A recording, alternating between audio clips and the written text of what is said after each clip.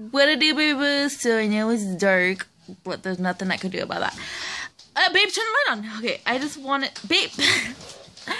I just want to do this video to tell you guys how my interview went. I'm so embarrassed, you guys. So my interview was today at 10 o'clock, but I went 15 minutes early. So I think I started my interview like at 9.50 maybe, and then it ended at 10. So it was only 10 minutes long. And they were simple questions. And let me just tell you guys this first. I've had three interviews because I worked at Forever 21, TJ Maxx, and McDonald's, right?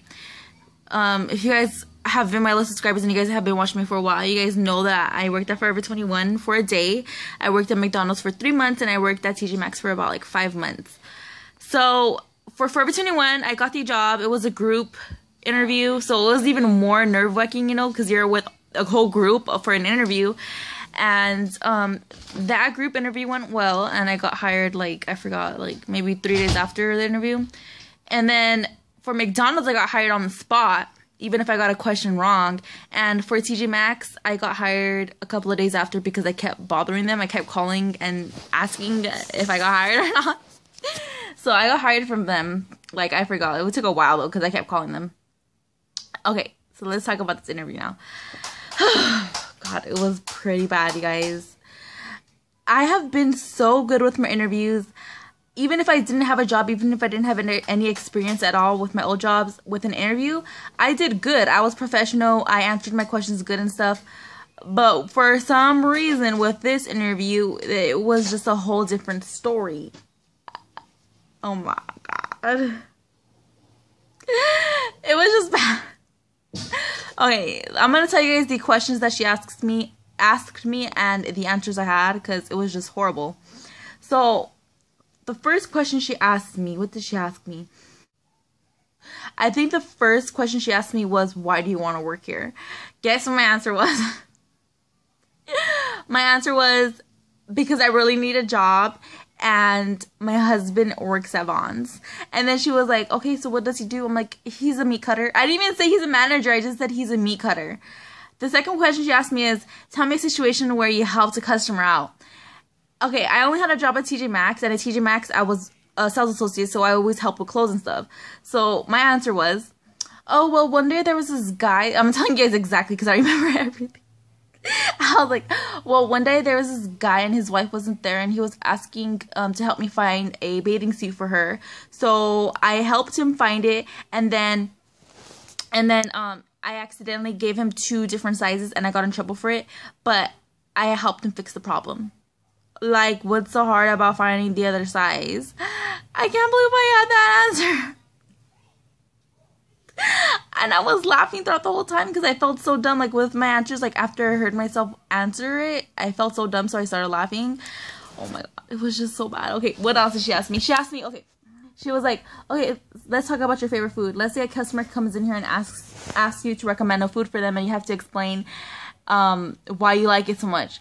I said, okay, let's talk about ceviche. I said it exactly like this. Okay, let's talk about ceviche. Um, let me think about it. Um, I would say, I was like, okay, so pretend that you're the customer and I'm talking to you, telling you um why I recommend it. And she's like, yeah. And I was like, um, I would just say, I think you would really like the ceviche because it has shrimp, crab, tomatoes, onions, cilantro, lemon, and if you like spicy things, you'll like it because of the bell peppers.